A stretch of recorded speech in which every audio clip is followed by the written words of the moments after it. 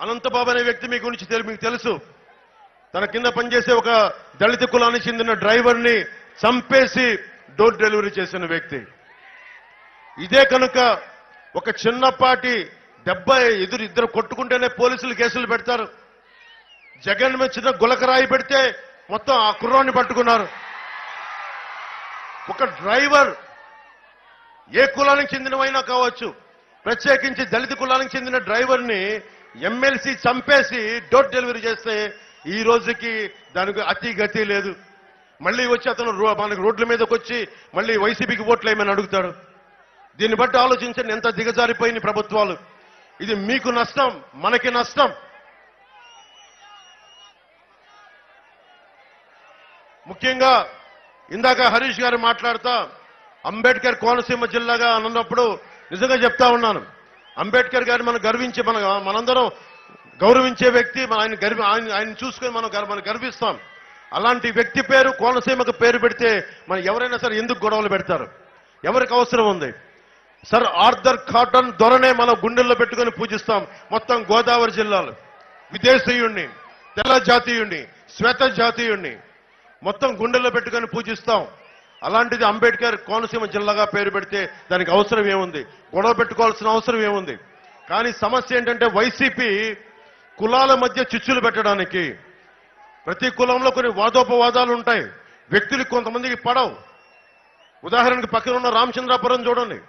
తోట త్రిమూర్తులు గారికి పిల్లి సుభాష్ చంద్రదాస్ గారికి పడేది కాదు. ఇద్దరు వ్యక్తుల మధ్య గొడవ. ఇద్దరు వ్యక్తుల మధ్య గొడవ అది కులాల మధ్య గొడవ అవ్వాల్సిన అవసరం లేదు. రంగా గారికి కానీ మనకి ఇందాక ఇప్పుడు రంగా గారి చూస్తా ఉన్నాను. విజయవాడలో నెహ్రూ గారికి కానీ వాళ్ళ ఇద్దరు వ్యక్తుల మధ్య గొడవ కులాల గొడవలు అయిపోయినాయి. ఇది చాలా చాలా ఉపద్రవం ఇది. ఇద్దరు వ్యక్తుల మధ్య గొడవ కులాల గొడవలు అయిపోతే మనం ఎవరం బతకలేం. సమాజంలో ఇంకో కులం లేకుండా ఇంకో కులం పనిచేయదు. ఇది చాలా కష్టం. ఇందాక వస్తున్నప్పుడు మోరి మోరిపాడు గ్రామాల నుంచి అదే చెప్తాను మోరి మోరిపాడు గ్రామాల నుంచి కొందరు నా దగ్గరికి వచ్చి ఒకటే చెప్పారు. మేము ఇక్కడ జీడి పిక్కల్ని కుటీర పరిశ్రమగా చేసుకుంటాం. దాంట్లో కాపు సామాజిక వర్గం ఉంది బీసీ సామాజిక వర్గం ఉంది ఎస్సీ సామాజిక వర్గం ఉంది. కానీ మాకు సరైన ఇబ్బందులు ఉన్నాయి మార్కెటింగ్ ఫెసిలిటీస్ లేవు. దీనిని కుటీర పరిశ్రమగా గుర్తించాలి అంటే నేను మోరి మోరిపాడు అన్నదమ్ములకు చెప్తా ఉన్నాను. కూటమి ప్రభుత్వం రాగానే మేము వచ్చి దాన్ని కుటీర పరిశ్రమగా గుర్తిస్తాం. ఈరోజు వైసీపీ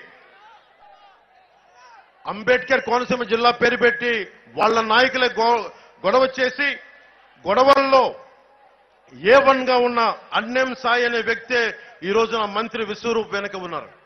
దీన్ని బట్టి మనకేం అర్థమవుతుంది? వాళ్ళే గొడవలు క్రియేట్ చేసి మనమే గొడవలు పెట్టుకోవాలనే పరిస్థితి. నేను వచ్చి ఒకటే చెప్పాను. చట్టం ఎవరికైనా సమానంగా పనిచేస్తుంది.